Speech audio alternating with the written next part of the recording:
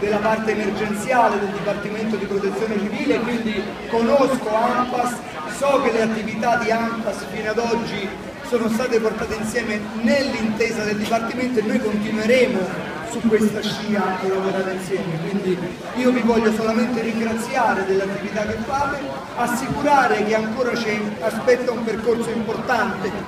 un percorso sul quale noi dovremo condividere anche le linee ringrazio anche il Presidente per l'audizione che ha fatto eh, in commissione per la legge delega in materia di protezione civile, è un percorso importante, strutturato, sul quale dovremo ancora ragionare insieme. Quindi abbiamo fatto tanto, tanta strada insieme, ne abbiamo ancora tanta da fare e io credo che ci sono tutti i presupposti per un lavoro eh,